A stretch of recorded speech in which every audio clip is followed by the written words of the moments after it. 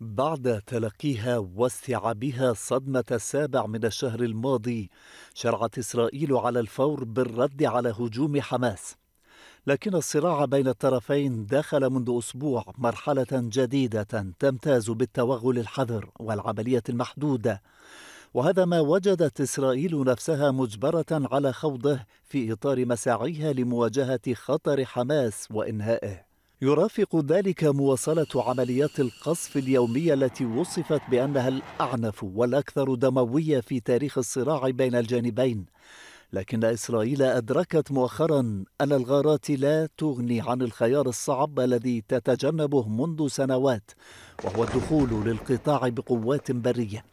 بدأت منذ أكثر من أسبوع بالتمهيد لذلك بتوغلات سعت من خلالها لتجنب أكبر قدر من المفاجآت والخسائر وهي تمضي بشكل حثيث للإطباق على غزة وتنفيذ أسلوب فكي الكماشة لفصل شمال القطاع عن جنوبه.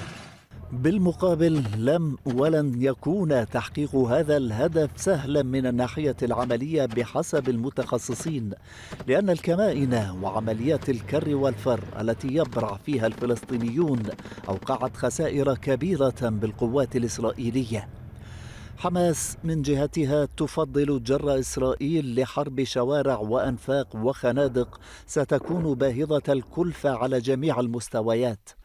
وعلى الرغم من استخدام القوات الإسرائيلية وسائل جديدة مثل الروبوتات والصور الجوية والأشعة تحت الحمراء وحتى الكلاب في المداهمات وللدخول في الأنفاق قبل المقاتلين إلا أن تصفية قيادات حماس وإنهاء خطر الحركة بشكل كامل يتطلب وفق توقعات الخبراء أشهر وربما سنتين وهو ما يضع القيادة الإسرائيلية أمام تحد كبير يتمثل بالخسائر المؤلمة وفقدان مئات أو آلاف الجنود وهي الآن في طور إيجاد سبيل للتوازن بين تحقيق الهدف المنشود والكلفة المتوقعة للحصول عليه.